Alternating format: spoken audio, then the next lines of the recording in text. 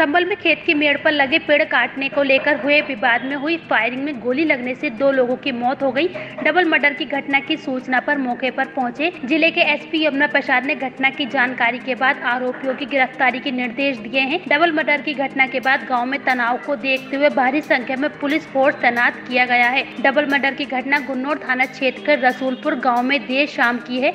बताया जा रहा है, रसूलपुर गाँव के रहने वाले बाबूराम और रामोतार आपस में ममेरे, फुफेरे, भाई हैं। दोनों के बीच खेत की मेड़ के किनारे लगे पेड़ों को लेकर कई दिन से विवाद चल रहा था। दोनों ही मेड़ के किनारे लगे पेड़ों पर अपना दावा कर रहे थे। पेड़ों के विवाद को लेकर कल बुधवार को भी दोनों के बीच मारपीट हुई थी, जिसके बाद पुलिस ने दोनों को हिरासत में ले लिया था। लेकिन पुलिस ने दोनों के बीच हुए विवाद के मामले को गंभीरता से नहीं लिया, जिसकी वजह से रामोतार और बाबूराम असले लेकर आज देर शाम अपने समर्थकों के साथ आमने सामने आ गए। पेड़ काटने को लेकर जमकर गाली गलौज के बाद दोनों तरफ़ कई राउंड फायरिंग की गई। फायरिंग के दौरान दोनों ओर से चलाई गई गोली लगने से बाबूराम और रामोतार की मौत हो गई। डबल मर्डर की घटना से इलाके में सनसनी फैल गई। घटना की सूचना के बाद ज़िले के SP Yamuna Prasad police force के साथ घटना स्थल पर पहुँच गए। घटना की जानकारी लेने के बाद एसपी यमुना प्रसाद ने आरोपियों की गिरफ्तारी के निर्देश दिए हैं। घटना के बाद गाँव में तनाव को देखते हुए भारी संख्या में पुलिस बल तैनात किया गया है।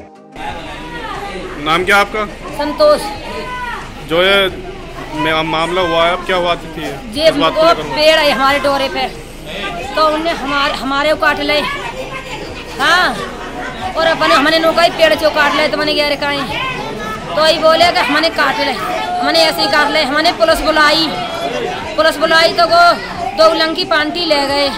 हमने कही फैसला कर लियो। उनने कही हम ट्रैक्टर चलाएँगे और जैसे भी के डोरो डरवाएँगे किसने कहा? और रामोतान ने और विद्या रामा ने और बिज़नेस आने और जोग गाने गुरुआ ने सब रे रे पाँच भैया आए और लोड़ा लोड़ा करे दोनों ओ तो ये हमन तो आज हमन की लकड़ियाँ मत भरियो हमने पुलिस को फ़ोन करो, हमारी कार्रवाई ना करी कर दो सिपहिया आए सिपाही में लग रहा था उनने कार्रवाई ना करी। एक पुलिस वाले ने हमारे कल हमारे आदमी को बहुत धमकी दी कि नो कर दूँगा नो कर दूँगा। तो हमने क्या जब तो बोले हम देख यहाँ लकड़ी भर रहे हैं तो ही तो वो फुल में हथियार रखे तैयार है इकले गए हम पीछे पीछे भागे। तब तक तो फेर फार कर दी तो खेता में घेर के के लिए तो मारे। इनमें आपस में हो गई? आपस में हो गई? पलंग देख जग निकल के चौकार रहे तो जब वो भाज जाता धरे भजे तो खेत में घेर ले। फिर लोड़ा ने मारी है गोली बिज़नेस आने जो गु- गुरुआ ने और वो का नाम है विद्याराम ने तीनों ने मारी है। तीनों ने मारी है। तीनों ने मारी है भैया। और भैया बाहर का संग है? तीनों ने किस किसने?